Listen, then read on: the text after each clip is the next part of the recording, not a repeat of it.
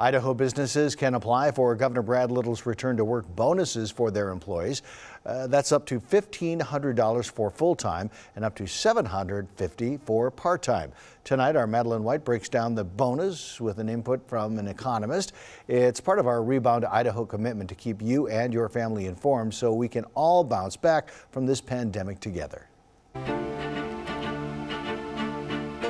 Now is the time for us to provide Idahoans with a financial incentive to return to work and ensure our economic rebound is swift and robust. 100 million in federal relief dollars now up for grabs to employers who wish to reward their employees who return to work from May 1st to July 15th. We have unprecedented impacts like we've seen in the current economic environment, it really does require kind of unprecedented responses.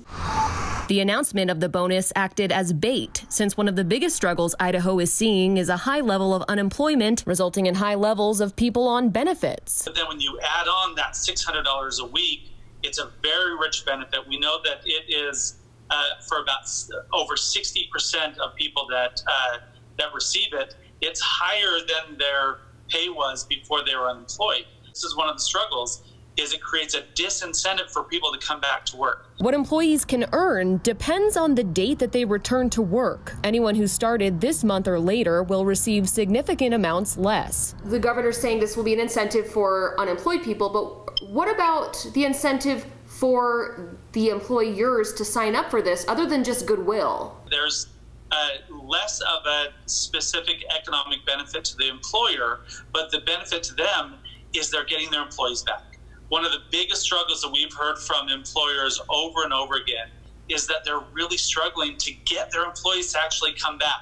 They're requiring that eligible employees have worked for an Idaho employer this year, gotten unemployment benefits from the state, make $75,000 or less per year, and work in a position intended to continue beyond four weeks. I think uh, employers should be uh, uh, applying for this as quickly as they can.